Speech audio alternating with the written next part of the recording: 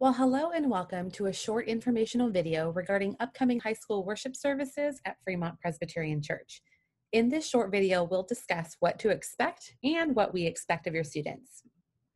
First, I'd like to recognize that this screen probably looks really familiar.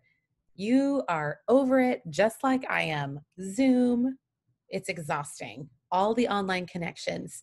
I'm really eager to get back to face to face, in person connections as soon as possible. But before we can do that with these worship services and your students, there's just a couple of things that we need to go over. First, this is going to be an actual worship service. We're going to pray, have a time of teaching, singing, and giving back. The students will be encouraged to worship the Lord outdoors all together. Get excited.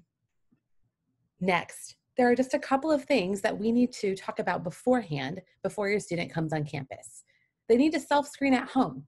That means they need to go through all of these symptoms here and make sure they don't have any. If they do, they should stay at home and catch us the next time. They also need to register ahead of time. This is to ensure proper contact tracing. And lastly, they'll need to practice good hygiene. Now, I know this feels like kindergarten, but you're probably already doing a really great job. Just make sure they wash their hands before they can.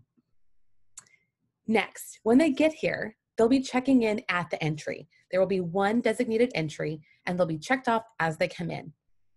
Also, they'll be asked to socially distance while they're here. Now, this is a term you're probably already very familiar with, but just as a reminder, it means that the students will need to maintain a healthy six to eight feet of distance between themselves and anybody outside of their original household. And lastly, they'll be asked to wear a mask. I know it's annoying, but in order to gather together for worship services, this is just one of those things that we have to do. Now, during worship, it really is going to be like one of our Sunday morning worship services. Maybe just it won't be David Burke, it'll be Steve Bailey or somebody else that he invites to join him for teaching. But it will be the same scripture reading, prayer, singing, giving back, just like Sundays.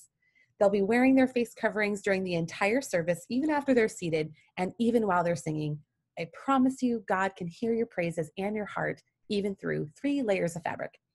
Lastly, we'll have to keep our hands to ourselves. Again, another kindergarten rule. I'm so sorry. Um, we want to make sure that we limit physical interactions while we're on campus during the worship services. Air high fives and air hugs, shoe kicks, elbow punches, all that's going to be fine. But otherwise, let's keep our hands to ourselves. Now, when we're done with our worship service, they'll be excused by row by volunteers. They might even be asked to help stack some chairs on the way out. It'll be really easy and quick, and I promise it'll be really fun also. And then we're going to ask to see you the next time. Normally, we love to hang out and talk about the worship service. Of course, we're talking about the worship service, right? Um, but we love connecting with our friends afterwards. And just right now, it's going to need to be that we just keep it moving. And we'll see you next time. I know this isn't ideal, it's not really that great, but it's so much better than what we had before. And we're really excited to worship with your students. It's just a really neat and creative way to bring students into connection around the idea of worship. Isn't our whole life worship? This is just one other way that we can connect during this unusual time.